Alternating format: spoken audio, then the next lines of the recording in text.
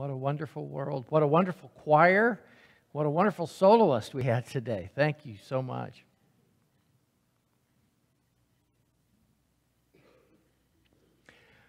When our staff met to plan our sermon series for this year, I'm pretty sure we looked at our current schedule and thought, you know, after spending four weeks or whatever it was we spent on suffering, maybe we should focus on something a little happier after that. And, uh, and so it's going to be November. Why don't we do a sermon series on Thanksgiving? So that's, that's where we're at. That's why we made that decision. But I think what we didn't realize at the time is how closely connected suffering and gratitude are in the Bible. As we're going to see today, moving from suffering to thanksgiving and to gratitude is really the transition that God wants us all to make. In fact, gratitude is often a really important part of healing. One of the things I said last week was that God doesn't send us suffering. Sometimes the suffering we experience comes as a result of things that we've done, decisions that we've made, and sometimes suffering comes for no good reason at all. Sometimes bad things happen to good people. That's the bad news. The good news is that God is with us in the midst of whatever it is that we experience, but especially in the midst of suffering, and God can even use it for our good. I think a lot of people have this idea of God as some kind of wrathful judge who's just waiting to punish wayward sinners. Not only is that a kind of a common image, I think, of God, it's also been around a long time. People assume that if God is all powerful, that whatever I experience must come from God. So if I'm unhappy, if I'm tempted, if I'm struggling, this must be what God wants for me. Our scripture reading for today from the book of James addresses that idea directly. James wants us to know exactly the kinds of things that come from God and exactly the kinds of things that don't. So, our scripture reading today is found in James 1, verses 12 through 18. Blessed is anyone who endures temptation. Such a one has stood the test and will receive the crown of life that the Lord has promised to those who love him. No one, when tempted, should say, I am being tempted by God. For God cannot be tempted by evil, and he himself tempts no one. But one is tempted by one's own desire, being lured and enticed by it. Then, when that desire has conceived, it gives birth to sin, and that sin, when it is fully grown, gives birth to death. Do not be deceived, my beloved. And this is really our golden verse for the week. This was the text, this was the part of the text that made us decide to use it for our first Sunday on Thanksgiving. James goes on, every generous act of giving with every perfect gift is from above, coming down from the Father of lights, with whom there is no variation or shadow due to change. In fulfillment of his own purpose, he gave us by birth gave us birth by the word of truth so that we would become a kind of first fruits of his creatures.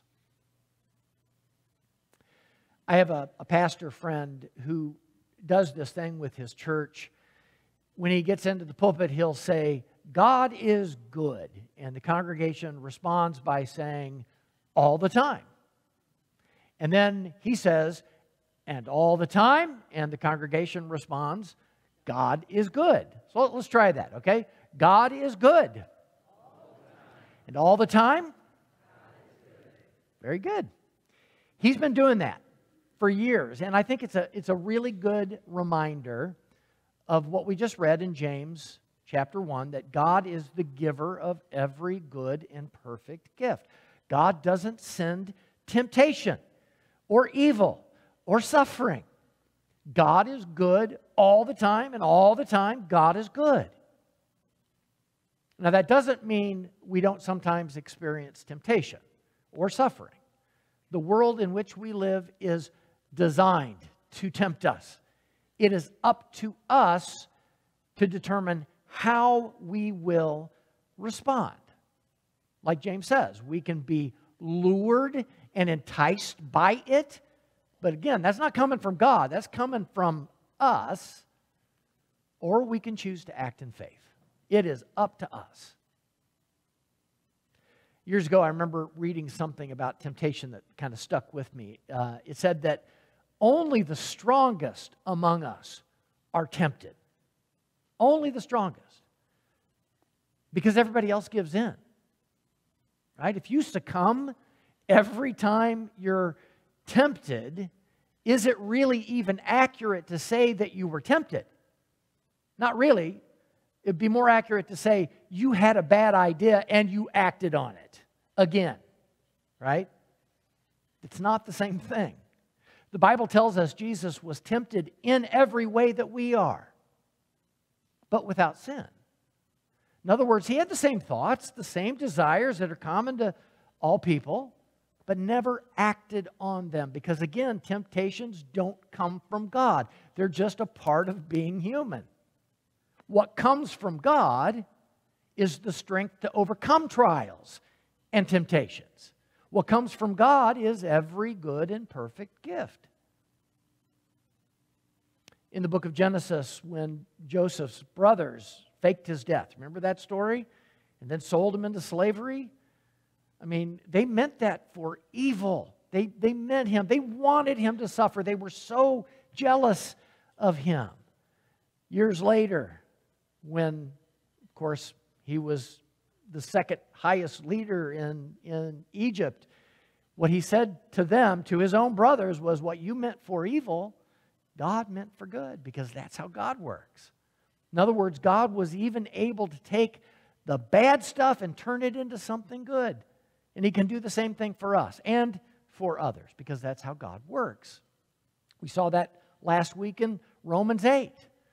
Paul's a, another one who was able to see God's good gifts at work even in times of struggle, even in times of trial. For instance, another one of my favorite uh, scriptures from him comes from Romans 5. He says, And not only that, but we also boast in our sufferings, knowing that suffering produces endurance, and endurance produces character, and character produces hope and hope does not disappoint us because God's love has been poured into our hearts through the Holy Spirit that has been given to us.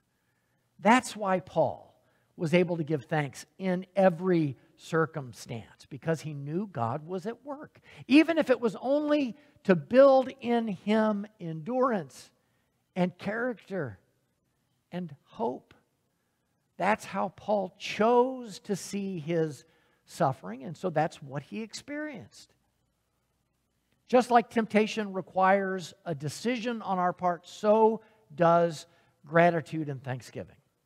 And that's why the sermon series on, on Thanksgiving, I think, is so timely, coming right on the heels of this one that we've been talking about suffering. And honestly, we did not plan it this way, it just kind of happened this way.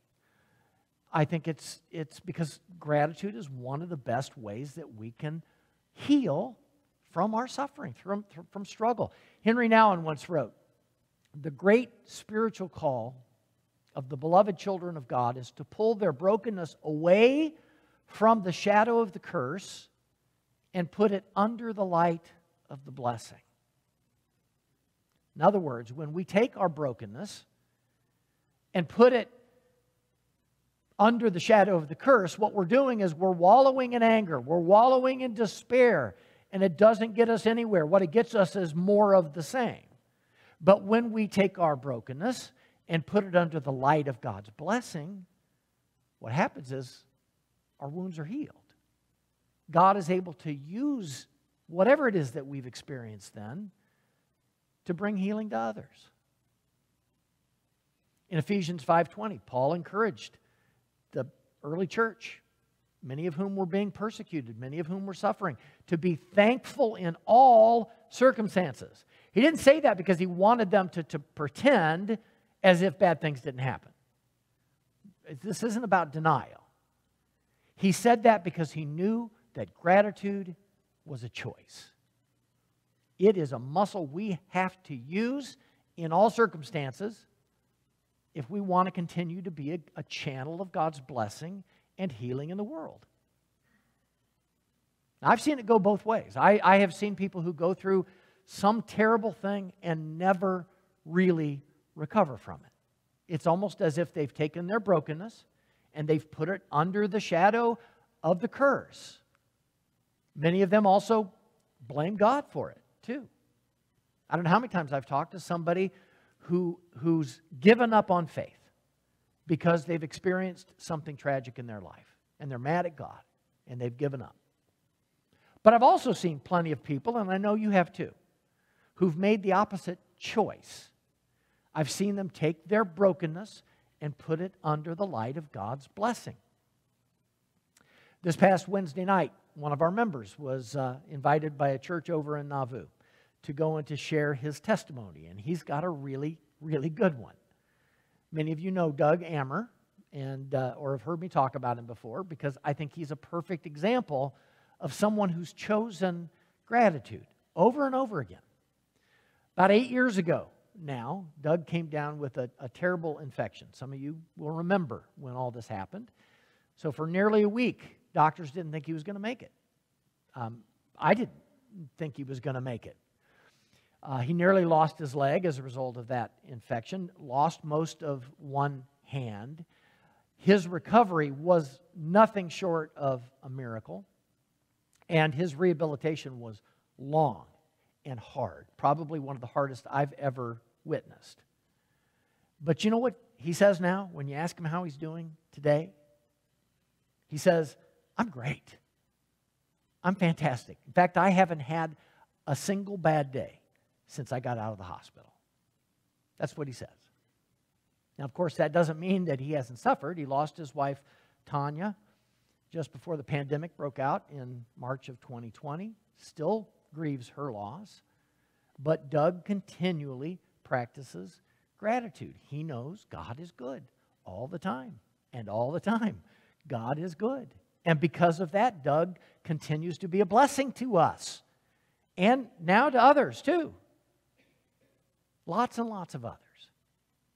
In some ways, saints like Doug, I think, make choosing gratitude seem easy. But it isn't. It's not easy. I think it's a habit we have to work at. And some of us just aren't wired that way. I want to recognize that. I want to say that out loud. By nature, we're more likely to, to see what's wrong than to see what's right. It's who we are. But that doesn't mean we can't still choose gratitude.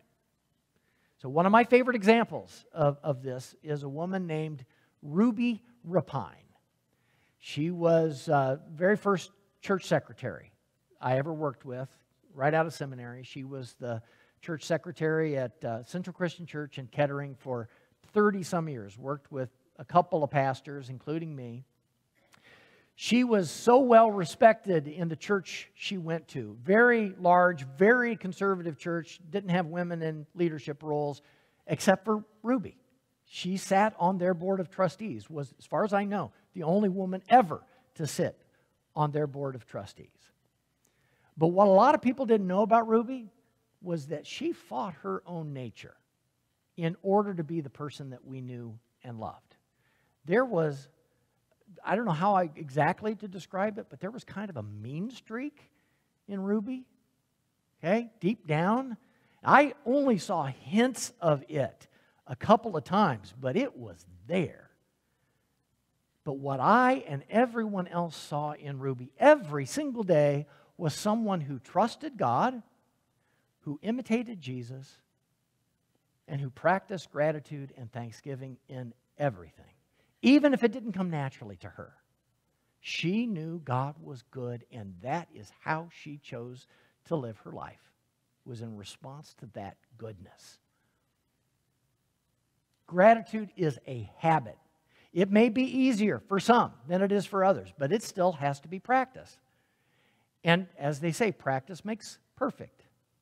Or, I think better yet, more accurately, practice makes progress. I don't know that we ever get it perfect, but we certainly can be moving in that direction all the time. For instance, Pastor Brian plays the piano really, really well. And now I'm watching his kids come along and sing like Ella did today and play the piano. I don't. I can't do that. But it's not because my mom didn't try. I can tell you that. She was a church organist, she was a, choir accompanist for decades. She would have loved for me to have played the piano. But guess what? I refused to practice. I would not do it. I used to hide from her so I didn't have to go to piano, even though I loved my piano teacher. I'd hide.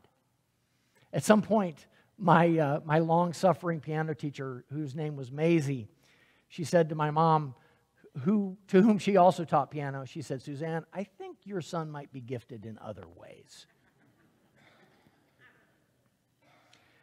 I think Maisie was just trying to be nice. I think she was trying to help my mom understand the fact that I was choosing not to play the piano because it was a choice. I'd, I'd love to have that skill now.